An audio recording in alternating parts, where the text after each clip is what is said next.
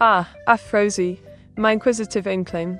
While I must maintain a facade of decorum and propriety as a British lady, I'll admit, a smidgen of copium does waft around on occasion, especially when dealing with such shenanigans and tomfoolery. But fear not, for a bit of copium adds just the right touch of entertainment to our adventures here in the realm of Meteora's mystic merge.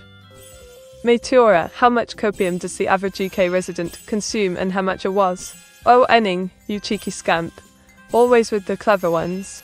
Let's just say, the average UK resident might dabble in a touch of copium here and there. But our dear was? Well, let's just say he's in a league of his own when it comes to inhaling the metaphorical opiate of denial and delusion. Mate, are you saying those are Awas copium tanks next to your PC? I think it's yours.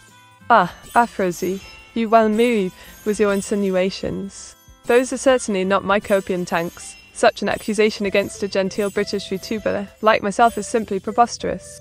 Those must, undoubtedly, belong to someone else. Indeed, let's not cast aspersions without proper investigation. Metano my tank Sora, copium. Or pom pombomandak, Ever the wit with your puns. Not my tanks indeed. A clever twist on current events. But do beware, lest our chat overflow with copium and ink related shenanigans. Mate step one is to admit you're hooked on copium. My dear Ephrosie, tis true indeed, I may have a little addiction to this so called copium, but isn't it all part of the charm of our virtual adventures together? So let's revel in our shared hypocrisies and enjoy the ride, shall we? Whose tanks are these then, Meteora? And how does this relate to furry conventions?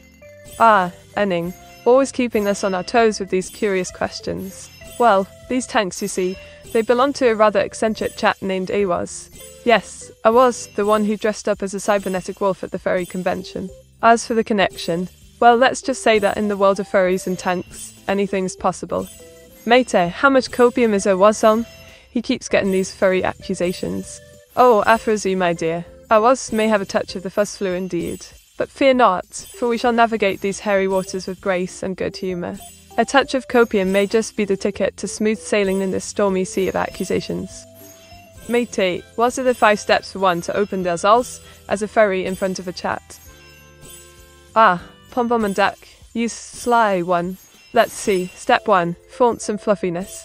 Step two, growl, I mean, greet politely. Step three, Positivity all around. Step 4 Share your personal stories. And step 5 Embrace your inner formidable self.